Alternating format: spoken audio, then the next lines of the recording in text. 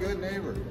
Today, we're in an undisclosed location, and today we have fire sprinkler heads in the walls.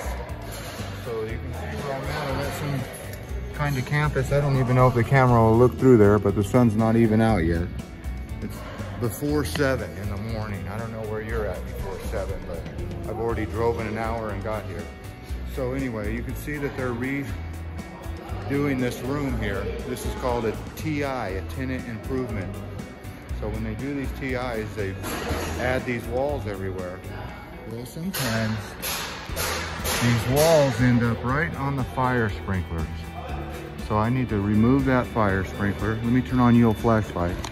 Unclip you here so you can zoom in action. You see that fire sprinkler in the way? Well, you won't see it unless I put the camera to it. But yeah, that's in the wall. That's gotta go. And there should be an X right here. X marks the spot. So there's one. There's two. And let's walk over here. I'll show you three, four. How about that? Oh yeah, there's this little one.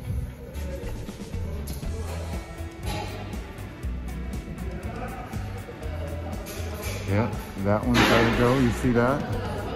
That's right in their wall. There's a good example where they can't finish their wall until the fire sprinkler's gone, so they got to call us out. You think they could have just took a wrench and spun this out, but they didn't. And we got one more over here. See that X? That's where I marked the spot. Yep, there it is. So, and that looks like it's coming off the side of the main, so I got to be careful with that one. Everything else is riser nipples. You see that? Well, this one comes off the side of the main. So I'm gonna get wet on that one. All right, well, there you go. Let's uh, plug four drops and uh, call it a day. Let's go shut it down, shall we? Someone else shuts it down here, so that's kind of nice. All right, let's get to work. I said get to work.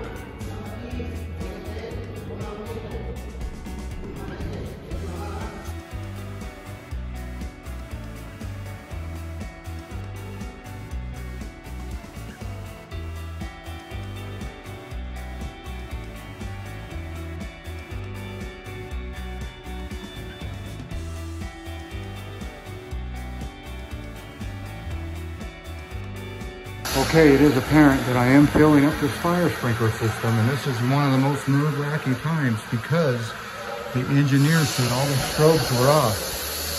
So it's always, he said, do not peg the flow switch, so I didn't. And that's what I always do, but you always do what you're told. He said, don't do it. So here's where I'm working, and you can see there's a lot more work here, but they busted ahead at another job. I got to go fix it.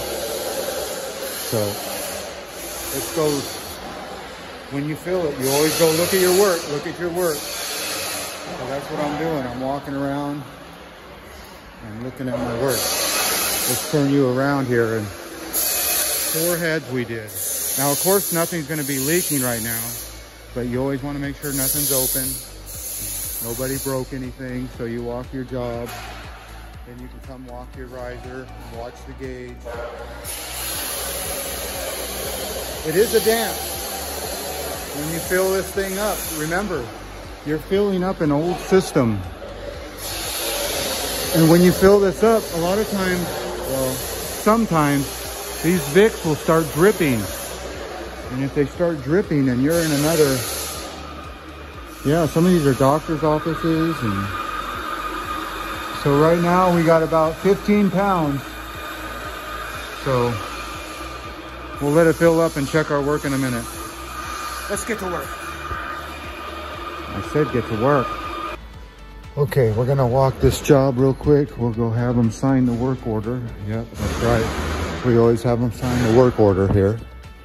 Sometimes they fight about it, but a lot of times they don't. All dry, all dry. all this is dry. No water, no leaks.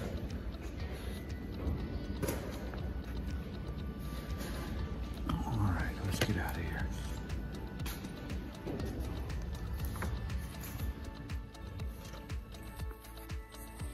Well, there you go.